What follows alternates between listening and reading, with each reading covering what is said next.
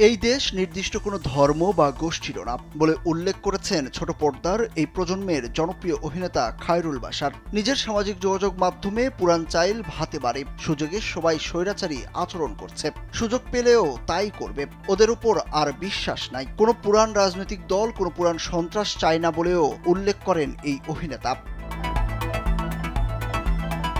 এর আগে আরও একটি পোস্টে তিনি লেখেন, অন্যায়কে অন্যায় বলতে, হত্যাকে হত্যা বলতে রাজনীতির সাথে সম্পৃক্ত হতে হয় না। রাজনৈতিক আলাপ না করা ভালো বা মন্দ না, অন্যায়কে তো অন্যায় বলতে হবে। দেশের সাধারণ মানুষকে হত্যা করা হচ্ছে। তারা ছাত্র, জনতা, শিশু, তাদের হত্যা করা হচ্ছে। এই দেখে কি চুপ করে থাকা যায়? কে বলবে না এটা অন্যায় হচ্ছে? ভাগ্যিস যারা এই ব্যাপারে চুপ ছিলেন, তাদের কেউ কেউ মেট্রো রেলের জন্য কান্না করেন নাই। এদিক থেকে আপনাদের শান্তিতে নোবেল পুরস্কার দেওয়া উচিত।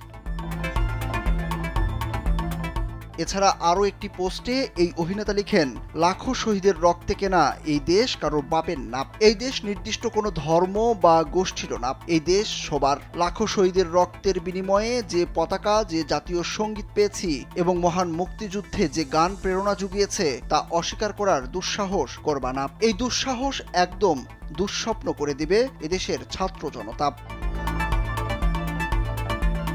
ভুলে যাওয়া চলবে না, ত্রিশ লক্ষ শহীদের রক্তের এই দেশ পেয়েছি। আজ হাজার শহীদের রক্তে স্বৈরাচার গেছে। এদেশে কোনো ধর্ম ব্যবসায়ী, কোনো সুবিধাবাদী সন্ত্রাস ঠাই পাবে না। যে কোনো সুবিধাবাদী বেইমানদের আমরা থাপড়ায়া বিদায় করতে জানি।